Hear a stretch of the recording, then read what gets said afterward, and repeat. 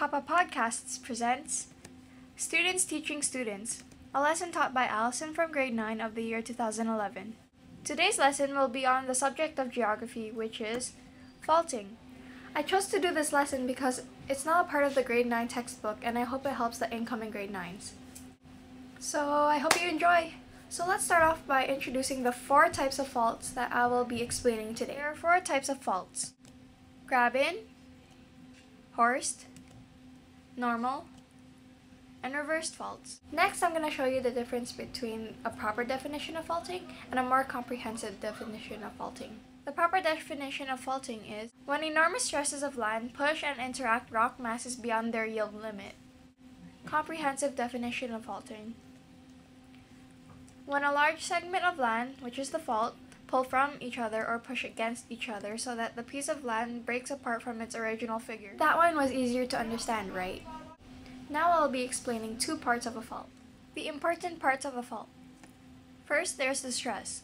The stress is the part of land that performs the actual process of faulting. Second is fault line. The fault line is the part of the stress where it actually separates. Now I'm going to show you the different types of faults. First, there's graben. This fault has two fault lines and it's when the stress of land pulls away from each other and it creates a kind of hole in the ground. If you had to picture a graben fault, it would look like this. The second fault is a horst fault. Similar to graben, this has two fault lines, but the stress of land push against each other, causing the land in the middle to rise. If you had to picture a horst fault, it would look like this. The next fault is a normal fault, and this fault only has one fault line and the stress of land pushes against each other, creating a hill. If you had to picture a normal fault, it would look like this.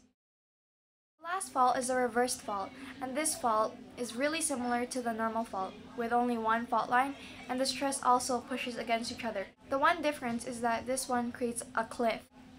If you would have to picture a reversed fault, it would look like this. That's it to the lesson of faulting for geography. Hope you liked my take on students teaching students.